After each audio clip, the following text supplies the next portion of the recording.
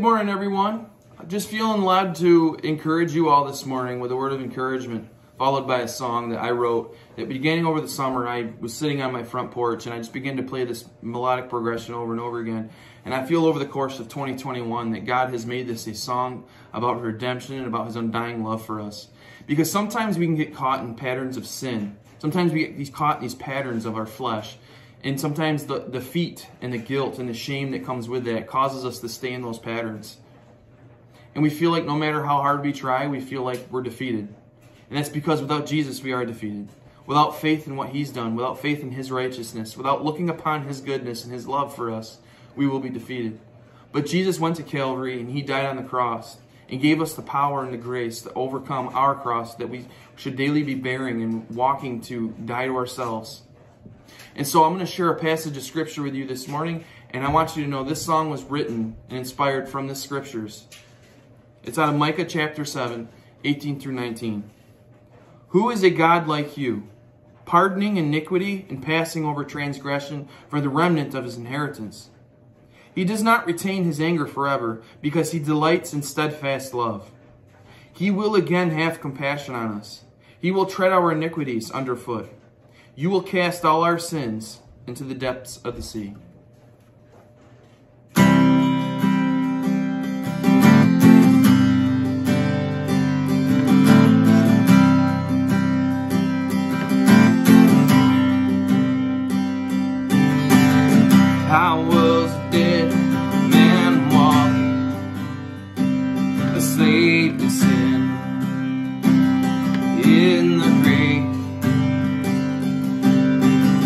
I had no hope for life.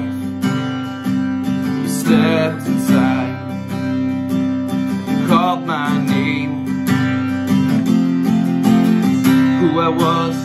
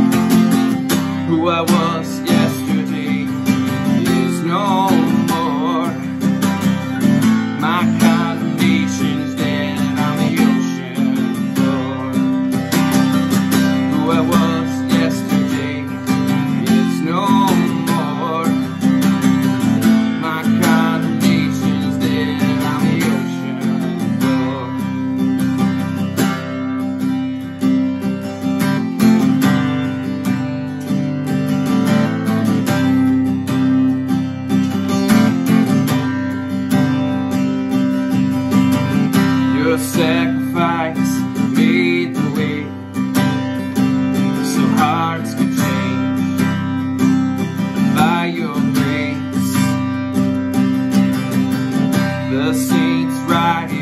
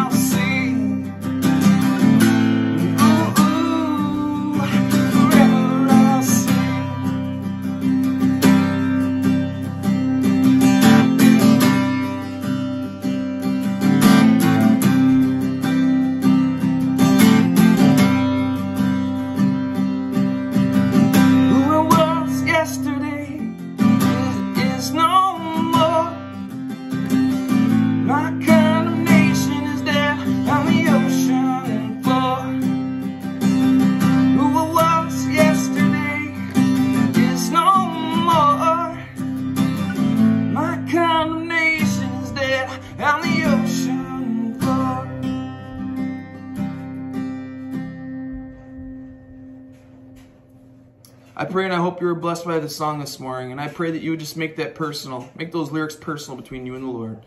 God bless you all, and I love you all. Have a great day.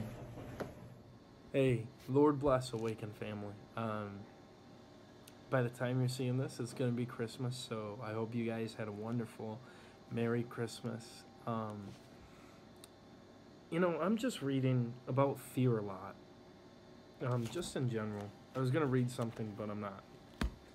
Um, and I just want to give you guys a word of encouragement because I've been going through fear myself, fear of evangelizing, fear of just realizing that the devil has tried to put spirits of fear in my life. And God did not give us a spirit of fear, but a power of love and of sound mind. And He's commanded us to go into all the world and to baptize in the name of the Father, the Son, and the Holy Spirit. So, what I want you guys to do is to step out, um, not in not in fear, but in faith, knowing that the Lord will be with you. Just read the book of Jeremiah, the first chapter. I told Jeremiah, "Don't be afraid. Don't say I'm so young. You're going to speak for me." And he said, If you're afraid of these people, I'll make you look like a fool in front of them. So I'm just challenging you guys today. Don't be afraid. Go evangelize. Go do what the Lord has called you to do. Find your flame and fan it. Um, anyway, yes, find your flame and fan it. Um, Lord bless you guys. I pray you had a great and Merry Christmas. There's a voice that calls life from unexpected places. Barren lands will flourish with new creation. There's one who is searching for the pure in heart, waiting to find those who will trust.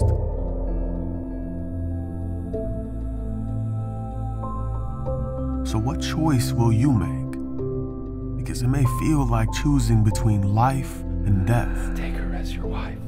But look closer all he has ever offered us is life. Messiah. God has come to the most unlikely people, urging them to follow, asking them to trust. The stories have been told for centuries. The wait is nearly over. Today, our Savior is born to bring light into dark places, to be the voice in the wilderness, to call you to come home, to bring joy to the world. God has chosen you and He does not make mistakes. God's timing is not our timing. His love is not our love. He's turned His love into flesh and blood, and for that, we rejoice. Emmanuel. So don't wait, don't pack, don't plan. Just go. There is a world lost and hungry.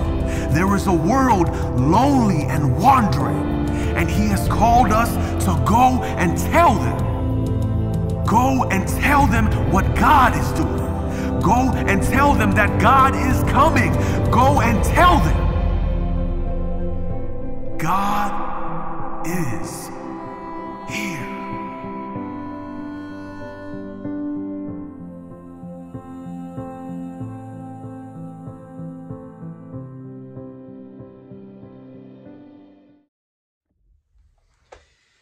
morning, Awaken Church. Uh, glad you're joining us here online today. I know it's the day after Christmas, and uh, you probably got a lot going on, and different things, or maybe you don't have a whole lot going on and you're just relaxing there in your living room or wherever you might be.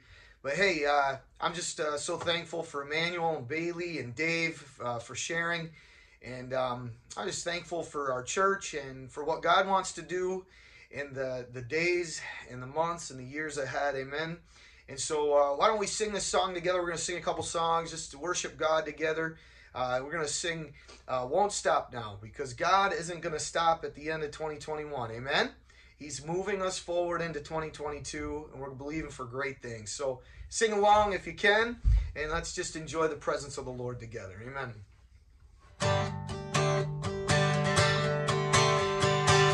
And I give you glory for all brought me through.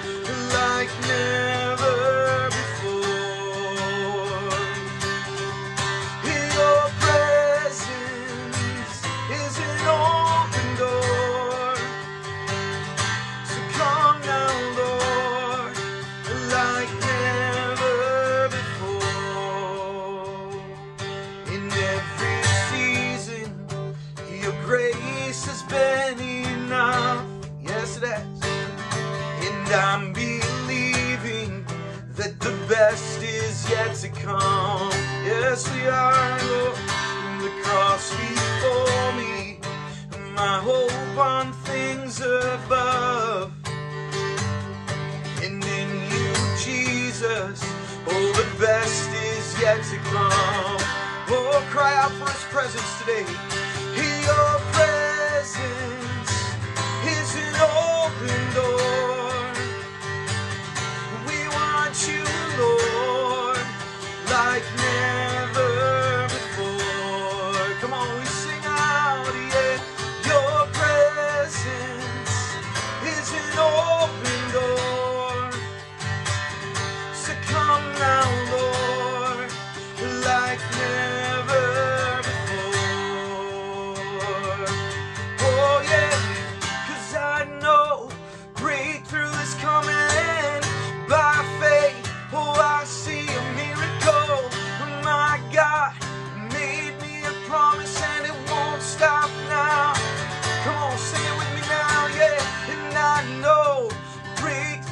Coming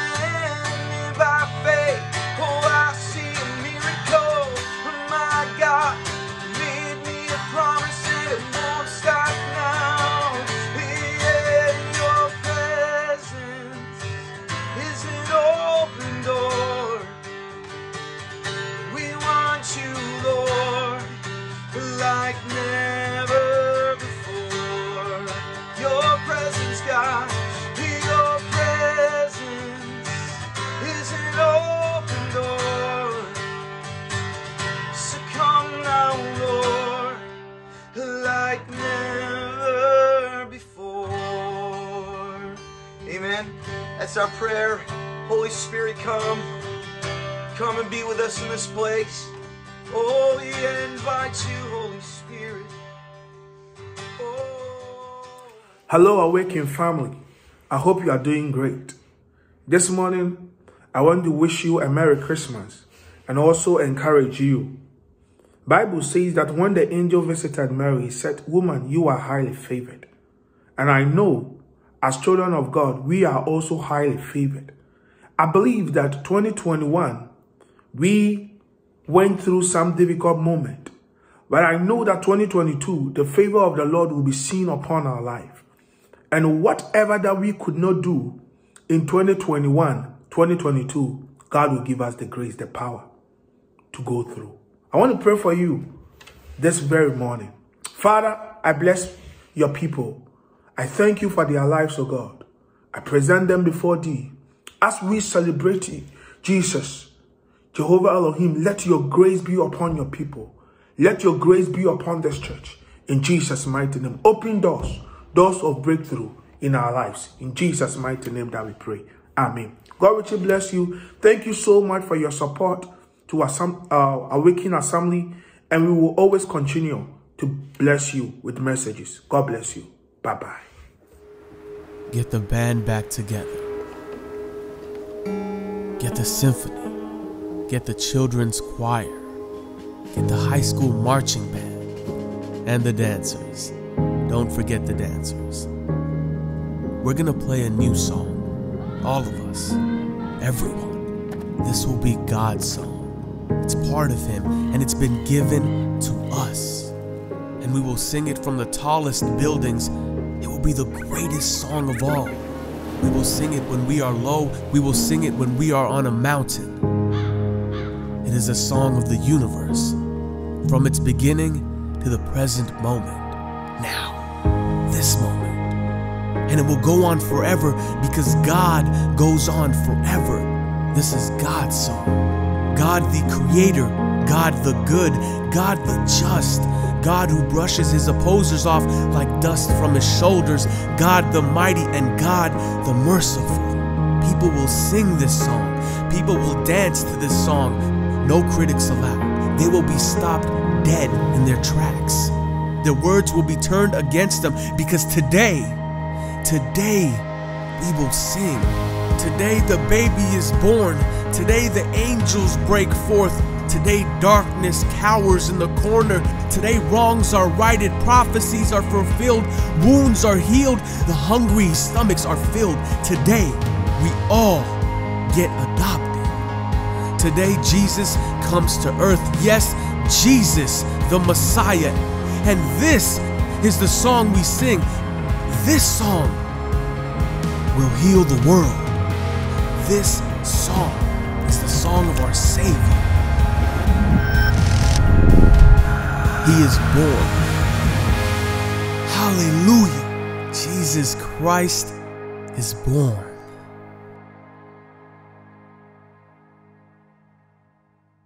Hey, Awaken, it's Pastor Todd here again. Just wanted to give you a quick word of encouragement moving into 2022 um, and finishing out 2021. Uh, but first of all, I, I expect or hope that you had an awesome Christmas, that you were surrounded by friends and family, or if not, at least you were able to sit back and relax and rest and maybe laugh a little bit, drink a little eggnog like myself, eh, eat some eat some Christmas cookies and but even more than that, I I trust that you were able to reflect upon the true gift of Christmas, the primary gift of Christmas, who is Jesus Christ our Lord.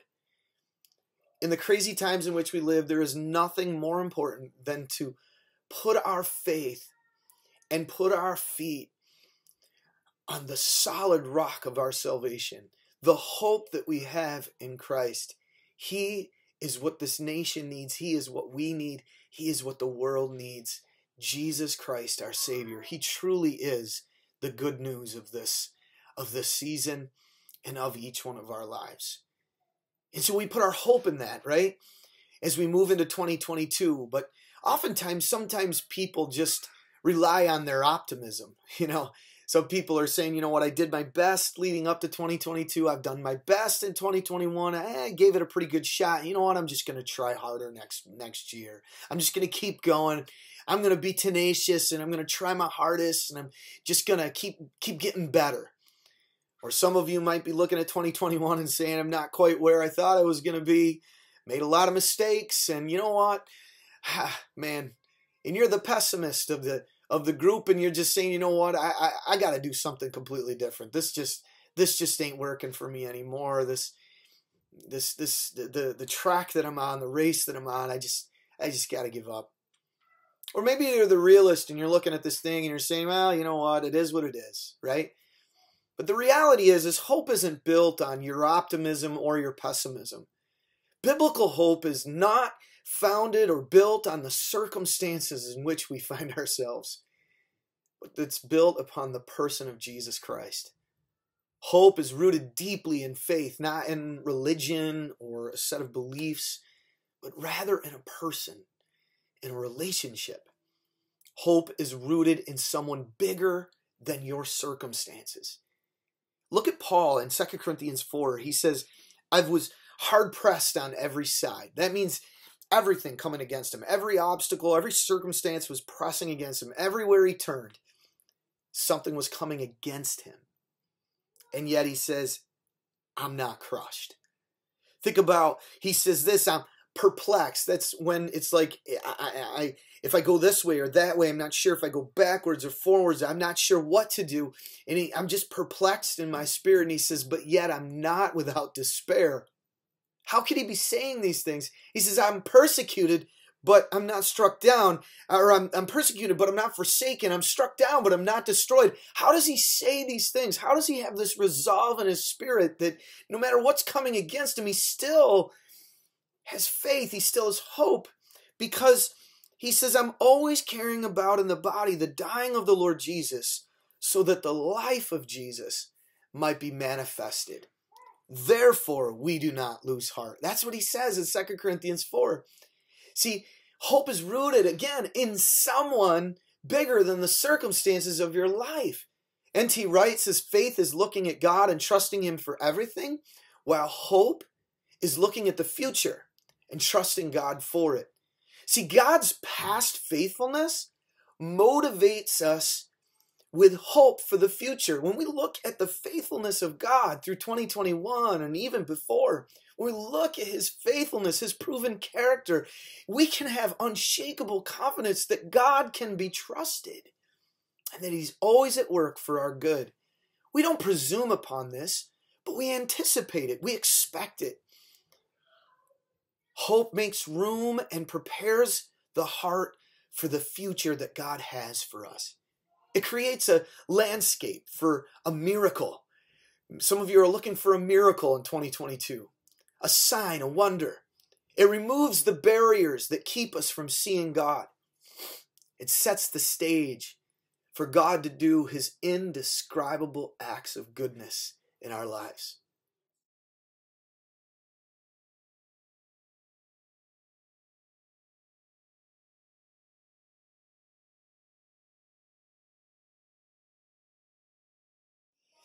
Hey, so the roof is now on the building, and uh, just um, I I haven't actually seen it completed yet with the metal on, but want to give out a shout of appreciation to Tom Rood and Jim Morrissey and the board for their continued efforts and um, determination to really take care of this building, um, so that each one of us can come and worship God together in a safe and in a in a well uh, taken care of facility.